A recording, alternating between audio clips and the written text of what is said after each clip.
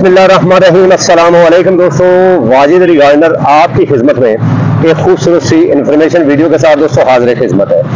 دوستوں آج ہم جس پلانٹ کا آپ کو ریویو بھی کروا رہے ہیں، وہ ہے دوستوں کینا لیلی پلانٹ تو مجھے ایک دوست کا کمنٹ بھی دوستوں آیا ہے کہ بھائی ہمارے کینا لیلی پلانٹ میں جو ہے، وہ فلاور نہیں آ رہے۔ تو دوستوں سب سے بڑی وجہ ہے کہ آپ ایک تو جو ہے، وہ سب سے بڑا آپ نے کام یہ کرنا ہے کہ فرٹیلائزر جو ہے اس کا بہترین موسم ہے۔ ایک تو فرٹیلائزر بھی آپ لازمی طور پر ڈالیں اور امیڈاکلوریڈ پاؤڈر جس کا ریویو اور مقدار اور ریڈی میں نے پلانٹ کے حساب سے میرے ڈبلیو اے گارڈنر یوٹیوب کے اوپر ویڈیو موجود ہے دوستو۔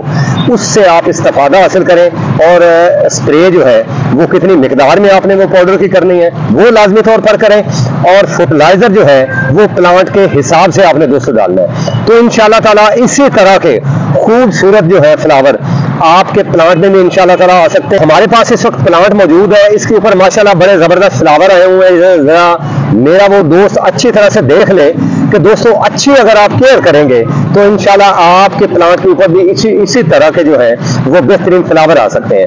کہ آپ نے ایک منتھ میں ایک دفعہ جو امیڈاکونوویڈ پاؤڈر ہے جس کا آلریڈی میں نے ویڈیو اپلوڈ کی ہوئی ہے ڈبلیو اے گارڈنر کے اوپر، آپ دوستوں جو ہے اس سے بہترین استفادہ حاصل کر کے اپنے جو پلانٹ ہے اس کو دوستو، آپ نے اسپرے باقاعدگی سے کریں تو انشاءاللہ تعالی اچھے فلاور آپ حاصل کر سکتے ہیں۔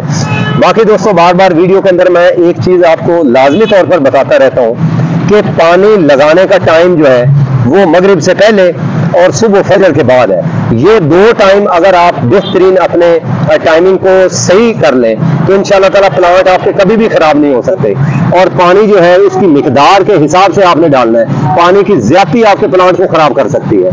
اس لیے جو ہے آپ کا پلانٹ ہو سکتا ہے کہ کچھ جو مجھے فلاور نہ آنے کی شکایت آپ نے کی ہے میرے دوست، تو وہ زیادہ میں بہتر تو مجھے یہی سمجھ آئی ہے کہ فرٹیلائزر جو ہے وہ فوری طور پر آپ ڈالیں اور امیڈوکلوریڈ پاؤڈر جو ہے وہ دو لیٹر کے اندر آپ ون ٹی اسپون لے کر دوستو اچھی طرح سے حل کریں اور پریشر کے ساتھ جو ہے، جتنے بھی آپ کے پلانٹ ہیں، ان میں دوستو آپ اسپرے کریں تو انشاءاللہ تعالی فلاور آپ کے جو ہے ایک منتھ کے اندر اندر فلاور بہترین آ سکتے ہیں۔ تو یہ آپ کو جو ہے، دوستو کینا لیلی پلانٹ اس کے اندر دوستو چار سے پانچ ویرائٹی ہے تو ان میں سے جو بھی ویرائٹی ہے، انشاءاللہ تعالی اچھے فلاور دے گی۔ ملتے ہیں خوبصورت سے پودے کی انفارمیشن ویڈیو کے ساتھ۔